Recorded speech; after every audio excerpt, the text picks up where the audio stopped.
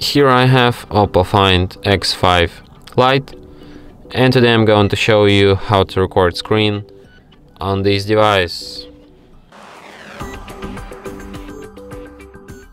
So firstly you have to go to the upper bar and here you can find the button screen recording. So by holding your finger on it you can access some of its settings. For example you can record system sounds, you can record microphone, you can also change picture definition, you can change frame rate, uh, you can also record front camera video, you can show screen touches, you can select video encoding format.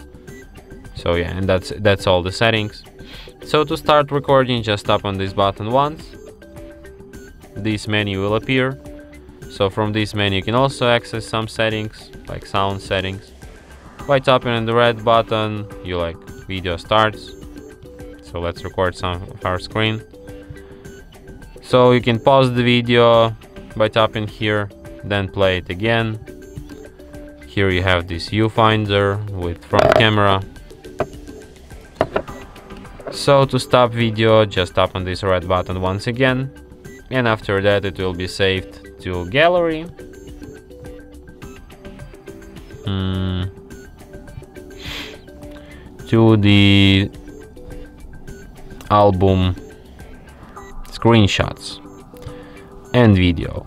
So here in video we have this recording which I just made. So yeah, and that's it. Thanks for watching.